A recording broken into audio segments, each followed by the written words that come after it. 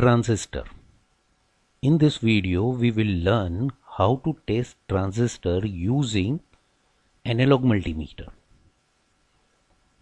In this experiment we will connect emitter and base of this transistor with analog multimeter and we will measure its resistance in forward bias and in reverse bias. In forward bias we will get less resistance, low value and in reverse bias the resistance will be very high. Okay? If you are getting low value in forward bias and very high value of resistance in reverse bias this transistor is in good working condition. And also we will learn how to find out the type of this transistor whether it is NPN or PNP Objective of this experiment to test transistor using analog multimeter.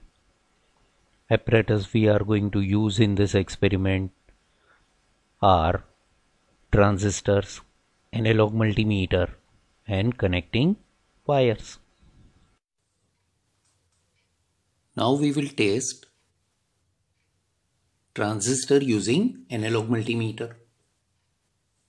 This experiment is exactly similar to testing of diode using analog multimeter.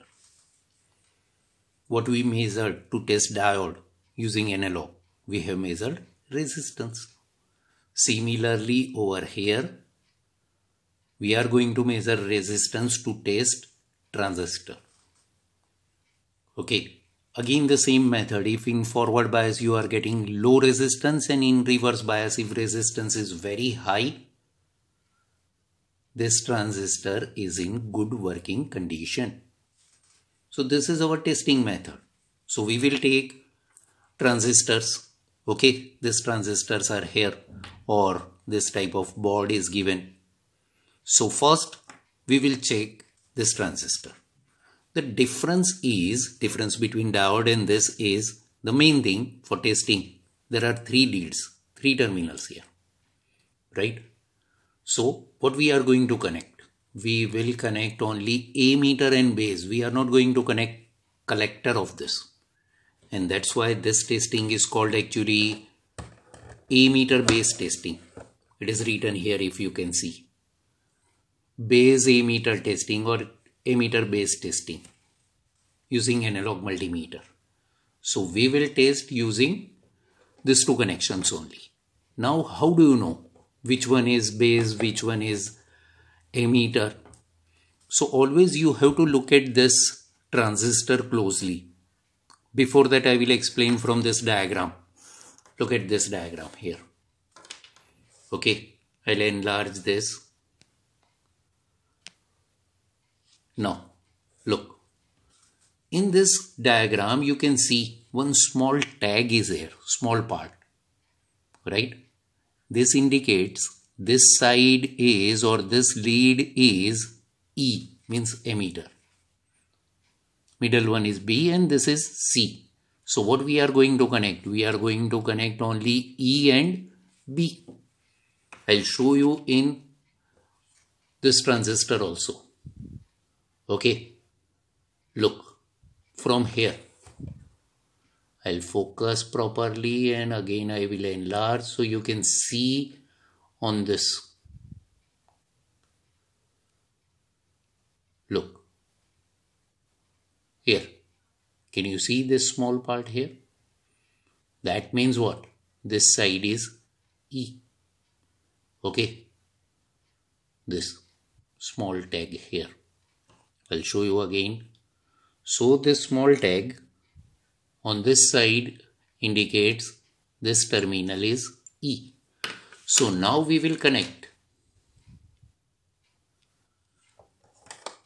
this with analog multimeter. But again let me remind you about positive and negative in this analog multimeter for resistance measurement. Here we are going to measure resistance.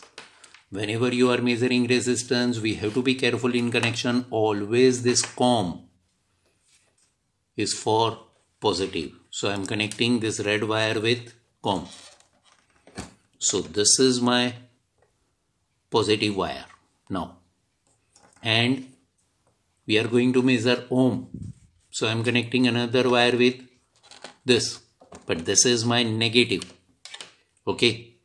Now you will be given two different transistors to test. I'm connecting this now. Here on this side is the small tag. Okay. You can see now. So I am connecting with this A I am connecting positive look what I am saying I have connected positive means this red wire with this E. And now I am connecting this wire with base. Base is here on this side. I am connecting with this. Now I will check the reading. But, but before that, before that, before connection, you have to adjust the zero also in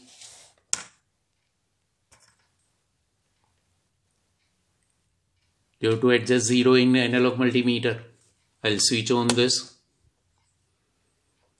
If it is not exactly on zero you can use this button to adjust exactly on zero. Now I'll connect it with emitter and base I am connecting red wire means positive with E. Okay. And this negative with I am connecting with B and I will check the reading now now you can see what is the reading here this reading is very high means infinity what does it mean? That means this is reverse bias reading. Reverse bias means positive is connected with N of this transistor. Right? First I will write this reading here in reverse bias. My reading is here infinity. Okay. Infinity means again I am writing P is connected with negative and n is connected with positive. What we have connected positive of multimeter with E, emitter of this transistor, right? And this is reverse bias. That means this emitter connection is or emitter is here N. Emitter is N type. So base is P type and collector is also N type. Therefore this transistor is the type of this transistor is NPN. Again, I will explain with forward bias reading. Forward bias, what I have to change? I will interchange this connection. I am connecting now negative with emitter and positive with base.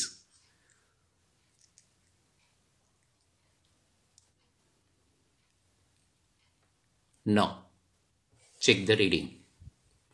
What is the reading here? This reading is 6.5.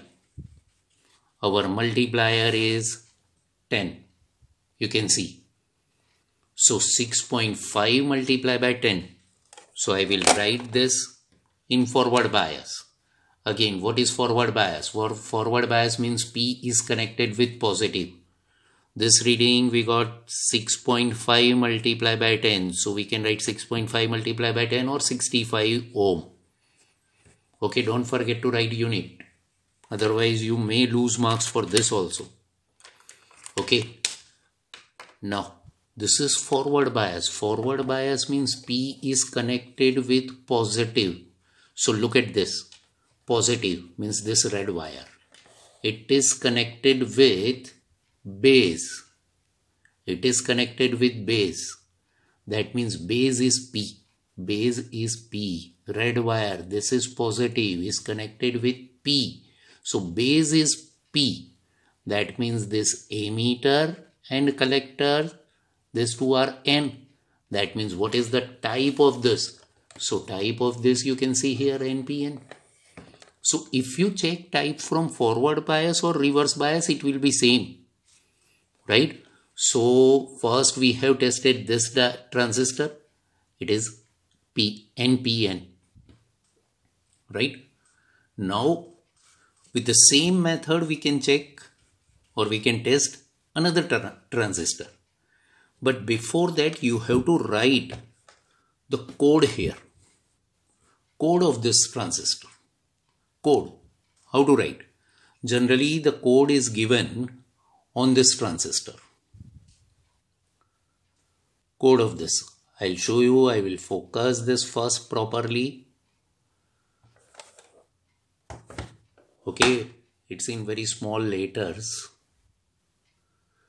Now, maybe you can see here, it is BC108. You can see this. So you have to write this code here. BC108 right this is the code type you can write here or different column is given this type is NPN